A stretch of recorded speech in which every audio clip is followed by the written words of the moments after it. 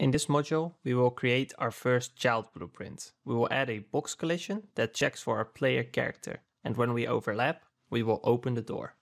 Let's create our door child. But first, there's one more thing we need to do in the BP door parent. Let's open it up, go to the viewport and select default scene root. Right now, it's a little bit too small for us to enter through. So I'm gonna make it a, a lot wider, maybe 1.5 and then 1.3 in height. Yes, that will make sure that we can at least walk through it normally. Okay, let's find our door parent in the folder. So content blueprint stores and right mouse button, create child blueprint class. We'll call this BPC underscore door underscore overlap.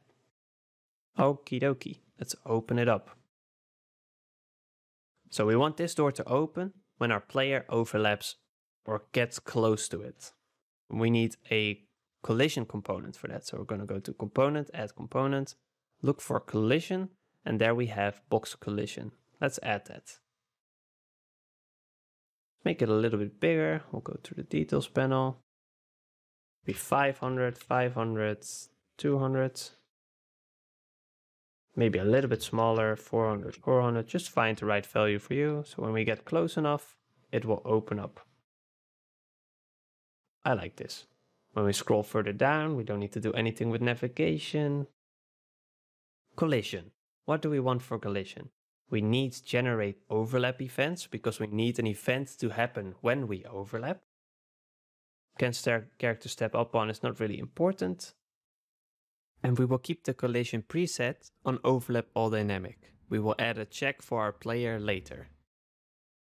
Scrolling further down, we don't need tags, replication, nope events. We can actually very quickly create events for the beginning of an overlap and on ending of the overlap. You can see them here on component begin overlap, on component end overlap. Let's create events. Just click the plus sign and you'll get an event created for you. I'm going to select the box and also click that button on on component end overlap.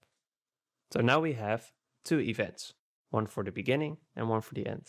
In this case, I just want the door to open when our player character enters the volume. So not just any pawn, but just our player character. We can do a quick check for that. We can drag off the other actor. So that's the actor that is overlapping our box. And we can do equals, two equal signs, equals object. And then what's easy is that we can just call get player character. And now we have a reference to our player character. So we can connect these two. And then we need a branch. So I'm going to hold B and click. And now we have a branch. You can also look for a branch. And when we overlap, we want the door to open. So we'll say open door. This same check we also want if we're ending the overlap. We don't want the door closing on us if some other pawn leaves the area and we're still in there. So connect, make sure it's our player character, and then call close door. Compile and save. Zoom out. Let's comment our code. See overlap. Open and close door. That should be clear enough. Compile and save. Let's uh, go back to our viewport and let's drag it in. BPC door overlap. I'm going to rotate it. There we go.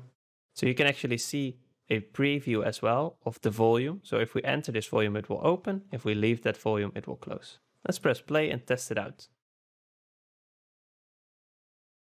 There we go. Open, close, open, close. Now maybe you've seen the door animate, you want to make it quicker, you can go back into the BP door parent, update the timeline and it will automatically also go for the BPC door overlap. We now have a door that can open and close when we approach and leave.